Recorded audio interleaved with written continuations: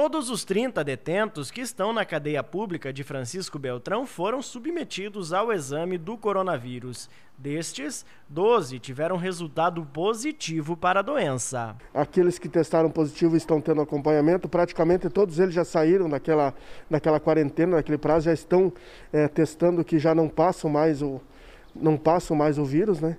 Então, enfim, é, essas situações são normais. Infelizmente, é uma pandemia que está no estado inteiro. Beltrão também não está diferente. Muitas pessoas testando positivo.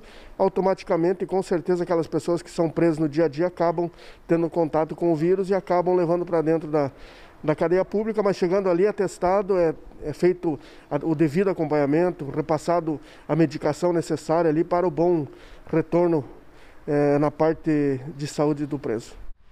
O diretor da penitenciária aqui de Francisco Beltrão, que também é responsável pelo DEPEN na região, tranquiliza a população carcerária e familiares que não existe risco desses detentos trazerem a doença aqui para a penitenciária estadual de Francisco Beltrão. É que a cadeia pública está funcionando justamente como um centro de triagem para não trazer esses presos para a penitenciária ou atender um, uma situação de risco.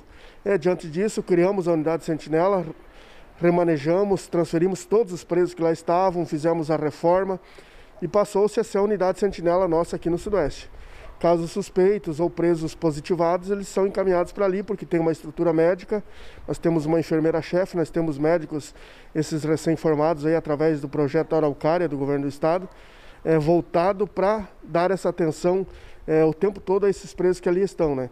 Tem uma ala que está os presos suspeitos e uma ala que está os presos que já não, ter, não tiveram contato com o Covid. Com estes novos casos, Francisco Beltrão passa a ter 62 pessoas em tratamento. Três estão internadas na enfermaria do Hospital Regional de Francisco Beltrão. Os outros se recuperam em isolamento domiciliar.